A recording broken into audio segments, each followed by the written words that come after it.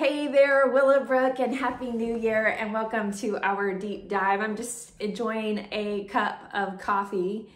And as I did, I was thinking about my coffee mug. Um, I don't always think about my coffee mug, but recently um, I had an experience with our women's ministry staff where we went and took like a pottery or a ceramics class and they taught us in this class, in fact, they brought out this clay slab and they taught us how to cut out and, and shape and, and make, make a handle and how to connect the handle to the cup and, and how to smooth out the top. And they, they taught us all these things and we made our own mugs. In fact, I don't even have it yet. It's still at the shop because it has to go in the fire and do all these steps afterwards. But since I did that, all of a sudden, I've been appreciating the mugs that I drink from more and more because I realized that somebody had to cut and shape and and put together and, and choose the colors and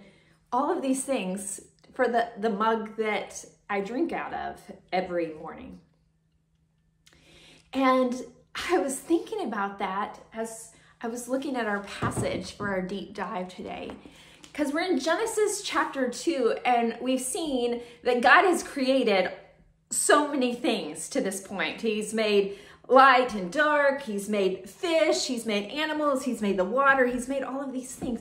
When we get to Genesis chapter 2 and God now is creating man. He, he's bringing humanity into the picture. And I, I got to verse 7 of chapter 2 and I realized wait a second, man is not that different than this. Check it out. Verse 7 Then the Lord God formed the man out of the dust of the ground. Well, that's kind of how this was formed. It, it was formed from dirt, the, the dust of the ground, the clay. It was formed from that. It, uh, just like man, it says that God took the dust and he formed and made man. But then there's one giant, huge difference. Keep reading. And breathed the breath of life into his nostrils, and the man became a living being. No, I'm not an expert potter. I haven't made lots of ceramics, but I have made one, at least recently. You know what I didn't do? I didn't breathe life into the coffee mug that I made. This coffee mug is lifeless. It, it's made from the same thing that you and I are made from, dirt dust from the ground. But it says that God breathed the breath of life into man and made him a living being. This is significant because, first, we need to acknowledge that uh, apart from God, we have no more life than this coffee mug. Uh, we, we can form and we can make things, but we can't make life. And God here is showing us that He is utterly responsible for every breath, for every heartbeat.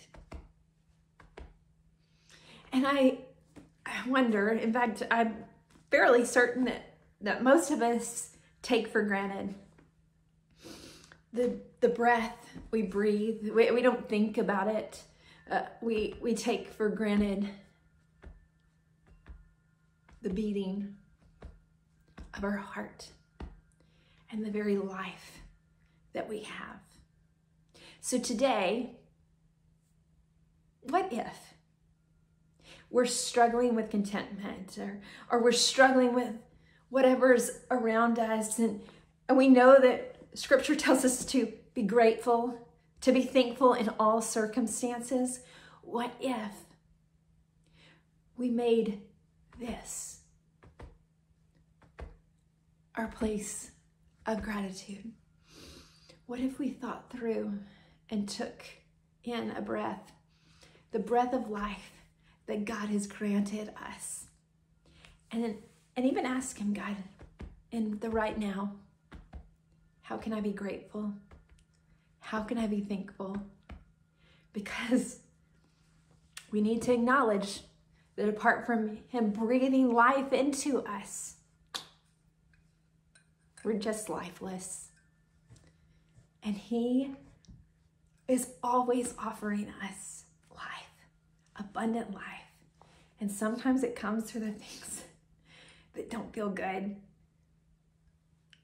We can thank Him for the life He's given us and trust Him, lean into Him for the life that He wants to continue to offer us.